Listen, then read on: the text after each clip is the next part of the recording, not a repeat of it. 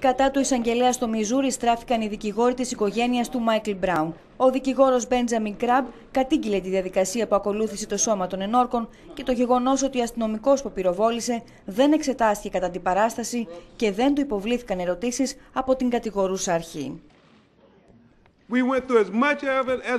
Μελετήσαμε όσο περισσότερο μπορούσαμε τα στοιχεία και είδαμε πόσο άδικη ήταν η διαδικασία που ακολουθήθηκε. Ενιστάμεθα δημόσια για λογαριασμό της οικογένειας Μπράουν. Η διαδικασία ήταν διάτρητη και πρέπει να αναθεωρηθεί.